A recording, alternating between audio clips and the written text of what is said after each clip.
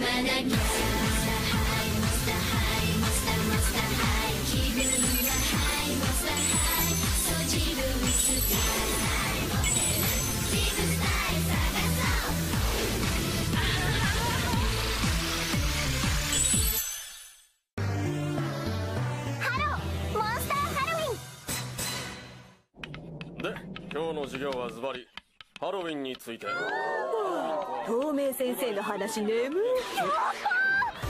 スターソースって今年のハロウィンカウントダウンしてる。ハロウィン生まれて初めてのハロウィンワクワクしちゃう。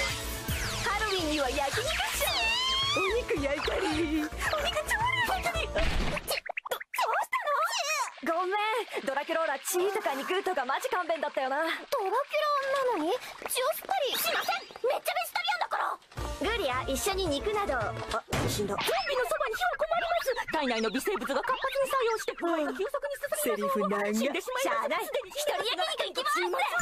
ハロウィンには回転寿司だよね。生きのいいお魚とか。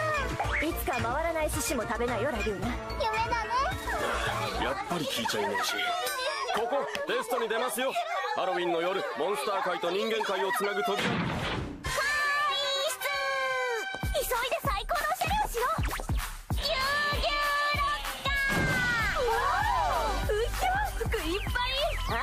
最高のコーデを選んでやんよ。クラウディーンはモンスターハイのファッションリーダーなの。任せて安心保湿保湿あハロウィンのカウントダウンがうわー。なんか光ってる光ってる私の鏡ドラキュラって鏡に映らないんじゃ気分気分てかうわ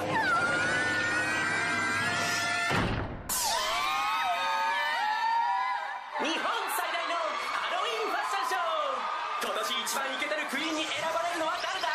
イケてるモンスターって言ったら私でしょおっとここで飛び入りネットでグググってみるとピラニアのレプチナをペットに地上じゃお肌が乾燥しちゃうハンドジットラグーナペットは犬のワーズイットピュアなフランケンシュタインの娘フランキーペットは猫のクレッセント満月の夜は危ないゾット狼娘のクラウディーンペットはコウモリのファビラス伯爵ガブッと人が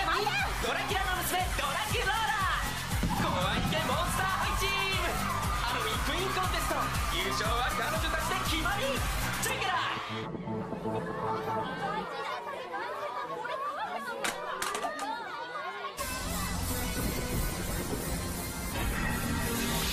なんでメラメラ怖い系ファッションチェック私フランケンシュタインの娘のフランキーまだ生まれて15日だからいろんなことに興味津々なんだファッションポイントはタータンチェック。プレッピーコーデにスタッズをプラスするのがおしゃれのポイントだよ。